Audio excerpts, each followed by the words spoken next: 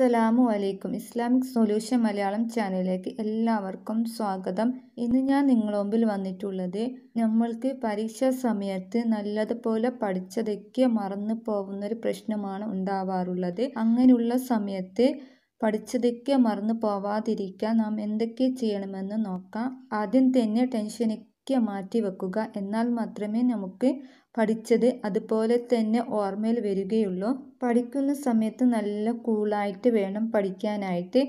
ഒരു ടെൻഷനും ഇല്ലാതെ വേണം പഠിക്കാനായിട്ട്. ബുക്ക് കാണുമ്പോൾ തന്നെ തലയിൽ നല്ല ഭാരം പോലെ ഒരിക്കലും തോന്നാൻ പാടില്ല. നല്ല ഫ്രീ ആയിട്ട് തന്നെ പഠിക്കണം. എന്നിട്ട് അള്ളാഹുവിനോട് ദുവാ ചെയ്യുകയും വേണം. പരീക്ഷയ്ക്ക് പോകുന്ന സമയത്ത് വുളവ് ചെയ്യുക. വലവ് ചെയ്യുന്നതോടൊപ്പം തന്നെ മിസ്വാക്ക് കൂടി ചെയ്യുക.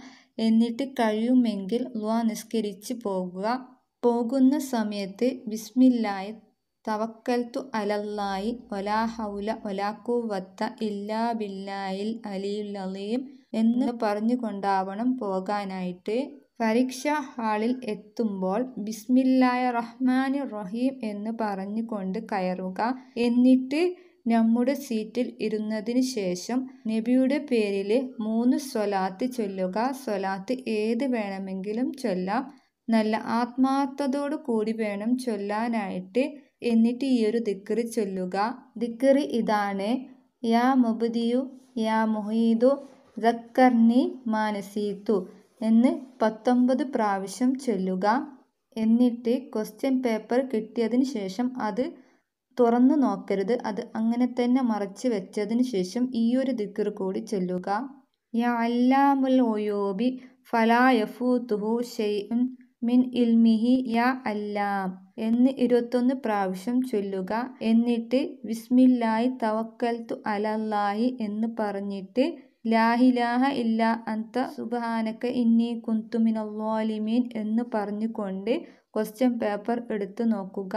ഇൻഷാ അല്ലാ ഇതിന്റെ ഫലം കിട്ടുക തന്നെ ചെയ്യും. നമ്മൾ പഠിച്ച കാര്യങ്ങൾ നമ്മുടെ ഓർമ്മയിലേക്ക് വരുന്നതാണ്. എന്നിട്ടും ഏതെങ്കിലും ക്വസ്റ്റ്യന്റെ ആൻസർ കിട്ടുന്നില്ലെങ്കിൽ ആദ്യം പറഞ്ഞ ദിക്കർ ചൊല്ലുക. പത്തൊമ്പത് പ്രാവശ്യം പറഞ്ഞ ദിക്കറില്ലേ? ആ ദിക്കർ ചൊല്ലി ദുവാ ചെയ്യുക. ഇൻഷാ അല്ല അള്ളാഹു ഫലം തരുന്നതാണ്. അത് മാത്രവുമല്ല പരീക്ഷ തുടങ്ങുന്നതിന് മുമ്പായിട്ട് തന്നെ നമ്മുടെ മുത്തനബി സല്ലാ അലൈഹി വസല്ലമ തങ്ങളുടെ പേരിൽ ആയിരത്തി നൂറ്റി പതിനൊന്ന് പ്രാവശ്യം സ്വലാത്ത് നേർച്ച ചെയ്താൽ വളരെ പുണ്യമുള്ളൊരു കാര്യമാണ്.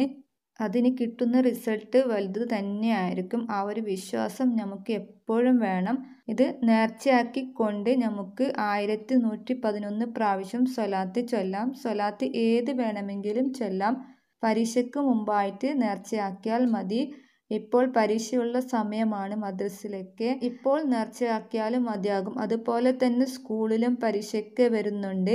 ഏത് പരീക്ഷ ആയിക്കോട്ടെ ഈ ഒരു സമയത്ത് ഇതുപോലെ ചെയ്യുക. അത് മാത്രവുമല്ല നല്ല വിദ്യാഭ്യാസം ഉണ്ടാകാൻ വേണ്ടിയിട്ട് നമ്മൾ ചെയ്യേണ്ട കാര്യം നല്ല ശുദ്ധമായ തേനെടുക്കുക എന്നിട്ട് അതിലേക്ക് ഇരുപത്തൊന്ന് പ്രാവശ്യം അലം നഷ്റവ് സൂറത്ത് ഓതി ഇഷ്ഫി എന്ന് മന്ത്രിച്ചു ഊതുക.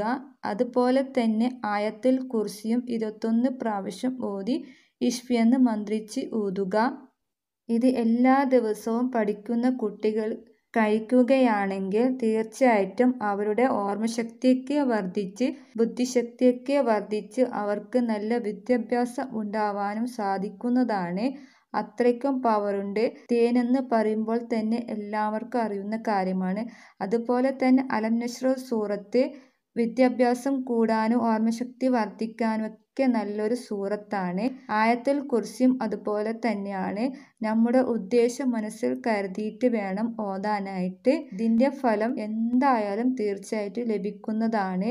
നമ്മുടെ വിശ്വാസമാണ് എല്ലാം. ഇതുപോലെ നിങ്ങൾ ട്രൈ ചെയ്ത് നോക്കുക. പരീക്ഷയുള്ള സമയത്ത് പരീക്ഷയ്ക്ക് പോകുന്ന സമയത്ത് ചെയ്യേണ്ട കാര്യങ്ങൾ ചെയ്യുക. അല്ലാത്ത സമയത്ത് അലം നഷ്റ സൂറത്ത് ഓതുക. എല്ലാ ദിവസം ഓതുക.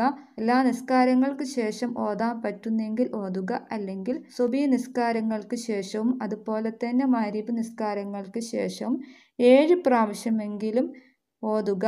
അതിന്റെ ഫലം വളരെ എഫക്റ്റീവാണ് ഇനി ചെറിയ മക്കളാണെങ്കിൽ അവർക്ക് അലം നഷ്റ സൂറത്ത് ഓതി വെള്ളത്തിൽ ഊതി എന്ന് മന്ത്രിച്ചു കൊടുക്കുക എന്നും രാവിലെ വെറും വയറ്റിൽ അവരെ കൊണ്ട് കുടിപ്പിക്കുക. മാതാപിതാക്കൾ എപ്പോഴും മക്കൾക്ക് സപ്പോർട്ടായിട്ട് തന്നെ നിൽക്കണം. അവർക്ക് ഒരിക്കൽ മറിഞ്ഞു പോയാൽ അവരോട് ദേഷ്യത്തോട് പെരുമാറാൻ പാടില്ല. അവരെ സപ്പോർട്ട് ചെയ്ത് അവർക്ക് കഴിയുമെന്ന് പറഞ്ഞ് അവരെ ബോധ്യപ്പെടുത്തി അവരെ പഠിക്കുന്ന അവസ്ഥയിലേക്ക് നമ്മൾ കൊണ്ടുവരണം. അതിന് ചെയ്യേണ്ട കാര്യങ്ങളൊക്കെ ഇവിടെ പറഞ്ഞിട്ടുണ്ട്. ഇൻഷാ അള്ളാ വേറൊരു വീഡിയോ ആയിട്ട് വരാം. ഇതുപോലത്തെ അറിവുകൾ ലഭിക്കാനായിട്ട് ഈ ചാനൽ ഒന്ന് സബ്സ്ക്രൈബ് ചെയ്ത് സപ്പോർട്ട് ചെയ്യുക. എനിക്കും കുടുംബത്തിന് വേണ്ടി ദുവാ ചെയ്യണമെന്ന വസ്യത്തോടു കൂടി അസ്സലാമു അലൈക്കും വറഹ്മത്തുള്ളാഹി വബറകാതുഹു.